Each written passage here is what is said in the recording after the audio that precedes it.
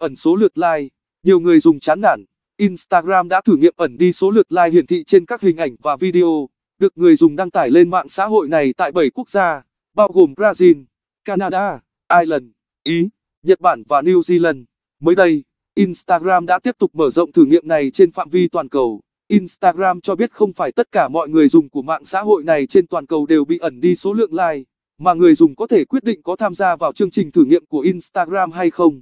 Với những tài khoản nào đồng ý tham gia thử nghiệm, người dùng sẽ không thể thấy được số lượt like trên các hình ảnh và video đăng trên tài khoản Instagram của người khác, mà chỉ có thể xem được số lượt like trên các bài đăng của chính mình. Đây là động thái của Instagram nhằm ngăn chặn tình trạng câu like trên mạng xã hội này.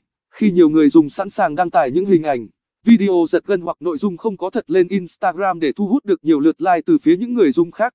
Instagram hy vọng việc ẩn đi số lượt like sẽ giúp người dùng tập trung vào nội dung được chia sẻ trên mạng xã hội này, hơn là quan tâm đến số lượt like cho các nội dung đó.